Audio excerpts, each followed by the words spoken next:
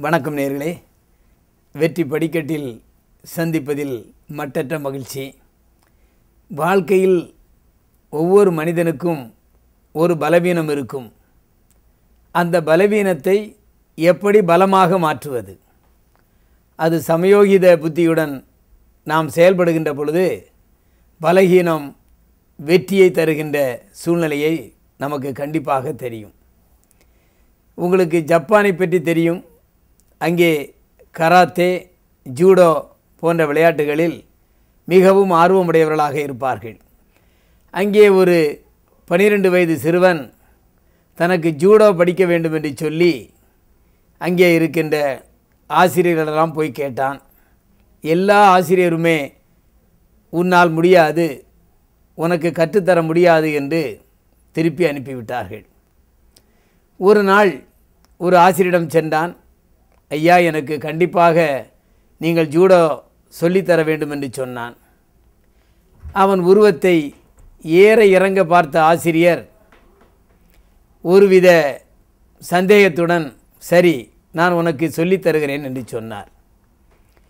அந்த சந்தேகத்திற்கு காரணம் அந்த பையனுக்கு ஒரு கை முற்றிலும் அங்கே துண்டுபட்டு இருந்தது ஒரே ஒரு கைதான் முழுமையாக இருந்தது. அந்த ஆசிரியருக்கு இவனுக்கு எப்படி சொல்லிக் கொடுப்பது என்ற ஒரு சிந்தனை அவனுக்கோ எப்படியாவது நான் கற்றுத்தான் ஆக வேண்டும் என்ற ஒரே சிந்தனை. அந்த ஆசிரியர் சொன்னார் உனக்கு பலகீனமாக இருப்பதை பலமாக நீ மாற்றிக்கொள்ள வேண்டும்.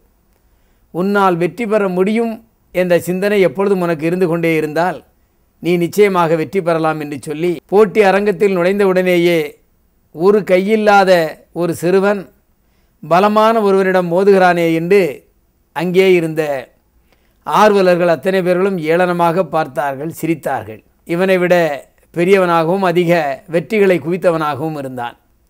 எனவே அவன் ஏளனமாக பார்த்து கொண்டு வா பார்த்து கொள்கிறேன் என்று சொல்லி அவனிடம் மோதினான். முதல் ஆட்டத்திலேயே அந்த சிறுவனை கீழே வீழ்த்தி விட்டான் இரண்டாவது ஆட்டத்திற்கும் எழுந்து அவன் பயிற்சியிலே அந்த மோதலிலே ஈடுபட்டான் அதிலையும் விழுந்து விட்டான் எனவே அந்த போட்டியாளன் சொன்னான் நீ இனிமேல் வெற்றி பெற முடியாது நீ திரும்பி போய் விடுகிறாயா? என்று சொன்னான். அந்த நேரத்திலே அந்த ஆசிரியர் சொன்னார் அவன் திரும்பி போவதற்காக வரவில்லை அவன் வெற்றி பெறுவதற்காக வந்திருக்கிறான் எனவே நீங்கள் ஆரம்பிக்கலாம் என்று சொன்னான். அந்த சிறுவனுக்கோ வீராவேசம் வந்து விட்டது. எல்லோரும் நம்மை பார்த்து ஏளனமாக நினைக்கிறார்களே என்று அவன் ஆவேசமாக அங்கே போராடினான். இரண்டு கைகளை உடையவனே அங்கே எதிர்த்து நிற்க முடியாத சூழ்நிலையில் ஒரே கை உடைய இந்த சிறுவன் அங்கே மிகவும் பலமாக மோதினான் வெற்றி பெற்றான். அங்கே இருந்தவர்களுக்கெல்லாம் ஆச்சரியம் எப்படி இது நடந்தது என்று அந்த பையனுக்கே கூட ஆச்சரியம். ஆசிரியரை பார்த்து எப்படி நடந்தது? என்று சொன்னான். அப்பொழுது அவர் சொன்னார் இந்த பயிற்சியில் ஜெயிக்க வேண்டும் என்று சொன்னால் வலதுகை இடதுகை.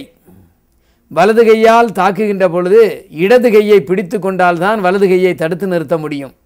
ஆனால் உனக்கு இடது கை இல்லை. எனவே அந்த எதிராளி உன் இடது கையை பிடிக்க முடியவில்லை. நீ உன் வலது கையால் வேகமாக குத்தி வெற்றி பெற்று விட்டாய் என்று அந்த சிறுவனிடமும் சொன்னான் அங்கே இருந்த மக்களிடமும் சொன்னான்.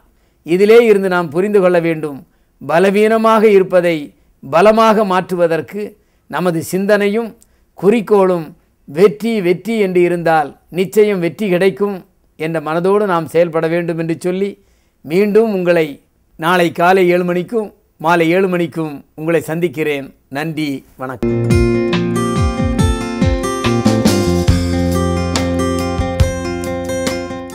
வெற்றி படிக்கட்டு புத்தகம் அனைத்து வசந்தன்கோ கிளைகளிலும் கிடைக்கும். ரூபாய் நூற்று ஐம்பது மட்டுமே.